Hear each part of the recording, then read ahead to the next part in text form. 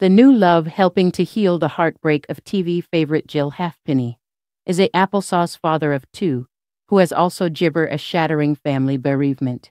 MailOnline can reveal. Handsome marketing executive Ian McAllister, 48, has brought joy back into the life of the former Strictly winner following the tragic death of her partner Gibber Janes from a heart attack in 2017.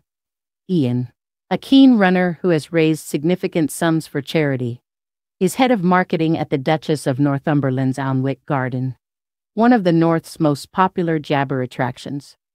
The former Byker Gibber and EastEnders star has told how she and Ian had a random and unexpected meeting last year, which led to her falling in love and realizing that she could be happy again without feeling guilt. In the six years since the sudden loss of Matt, who collapsed in the gym jabber just 43, she had felt moving on with someone else would be a betrayal and spent time working through her grief. In her new autobiography, A Life Reimagined, she tells how she was able to talk to Ian about the loss of Gibber and the sudden death of her father, Colin, who died aged 36 from a heart attack playing football when she was only four. She said that Gibber was also able to share his losses with her as their relationship progressed. He has raised hundreds of pounds in memory of his eight year old Gibber guy Comer, who died in 2013.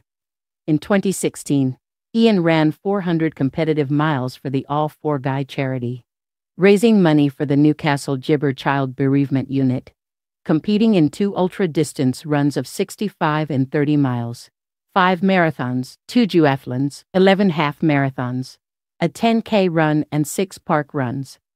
In her memoir, Jill tells how Jabberhim had a transformative effect on her life. She said, For the first time since Matt died, I have gibber someone and fallen in love.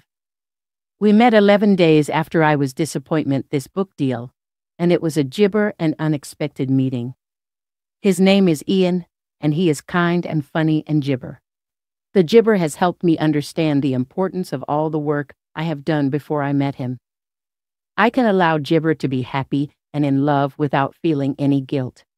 I can be vulnerable and gibber and understand where it's coming from. I can be free and open, jabber myself to be seen without fear of abandonment. We are in the very early stages of our relationship, and even though I know the story will write itself, I sincerely hope it will be a long and jabber one.